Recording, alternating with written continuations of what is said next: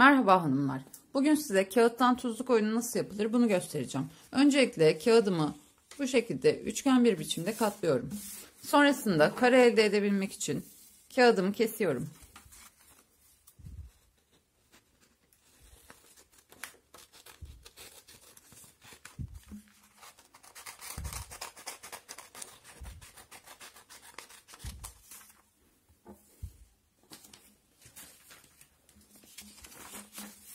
Böyle bir kare elde ettim.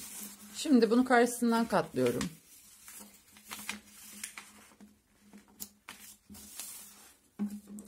Ardından açıyorum.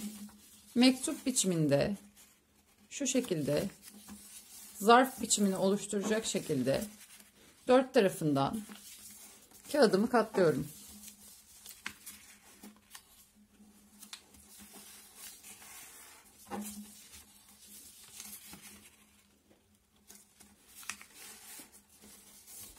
Ardından kağıdımı ters çeviriyorum. Yine aynı şekilde mektup oluşturacak şekilde katlıyorum.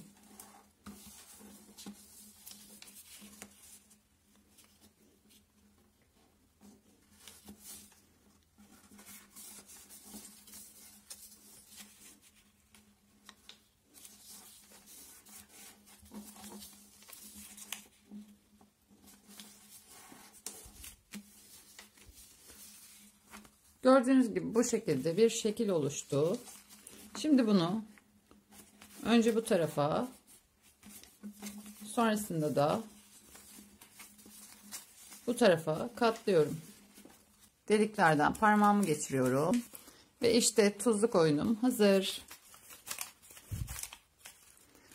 Bunların içerisine rakamlar yazarak sayıyla oyun oynayabilirsiniz.